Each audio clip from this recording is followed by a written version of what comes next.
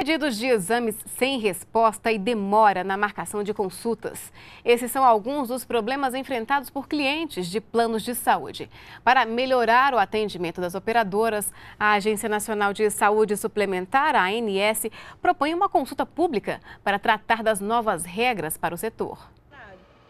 No início do ano, a arquiteta Fernanda descobriu que precisaria passar por uma cirurgia de retirada da vesícula. Em um mês eu descobri o problema e fiz todos os exames e dei entrada no pedido da senha de liberação da cirurgia e me falaram que eram 21 dias de é, prazo para que eles me dessem, 21 dias úteis né, de prazo para que eles me dessem essa resposta e essa liberação.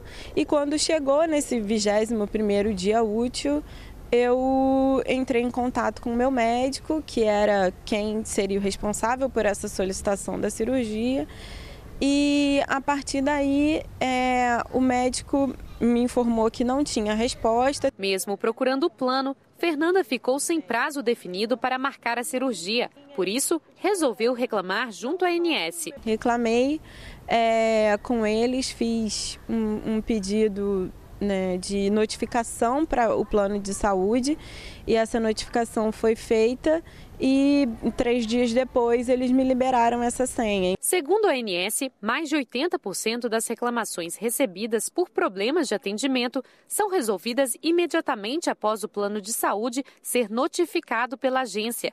Para a ANS, na maioria dos casos, os problemas acontecem por falha na troca de informações entre operadoras e clientes. Para melhorar a comunicação entre planos de saúde e beneficiários, quando são solicitados procedimentos e serviços da cobertura, cobertura, a ANS propôs novas regras que estarão em consulta pública a partir desta quarta-feira. A novidade é a determinação de prazo para que os planos de saúde respondam sim ou não aos pedidos de procedimentos e exames. Cinco dias úteis para casos gerais e dez dias úteis para procedimentos de alta complexidade. Outra proposta é a diminuição do prazo para que a operadora do plano de saúde explique por que negou determinado exame ou procedimento.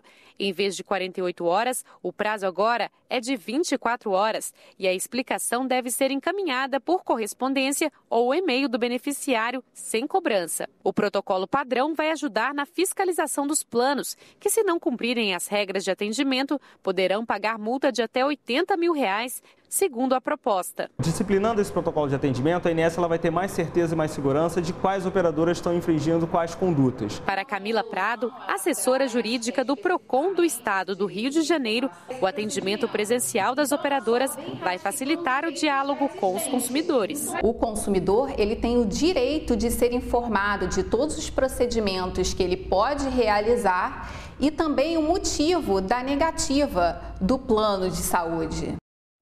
A consulta pública fica aberta até 5 de julho na página da ANS. Qualquer cidadão pode enviar sugestões, além de associações civis ligadas ao setor de planos de saúde.